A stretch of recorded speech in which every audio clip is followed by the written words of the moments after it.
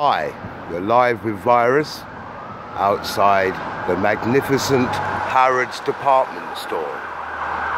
And this store was founded by Charles Henry Harrod.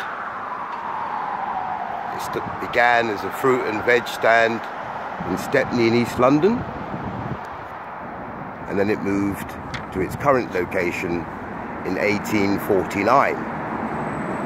So tonight I'd like to shout out to Nud out there in Valdrina, or Valdriny, which is a suburb of Paris.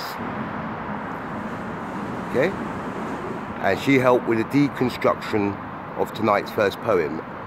Just to say it's a late night edition due to the lick off heat today and also little step away from COVID and disaster and a little step towards the land of poetry. So the first poem tonight, Sweet Half of Home. Sweet Half of Home. She travelled many a league, fights beasts and fatigue to get home. The elements draw in cold breeze and skies the colour of tin. All she knows is she must get in to where the fire glowed and familiar faces flowed into the sweet half of home. Thank you. And on to tonight's second poem. And this one is called me in here. This is me in here. I'm sure it is. I swear. Sometimes I wonder, is it me? Under my eyes? Or am I feeling by remote control? You know, nobody.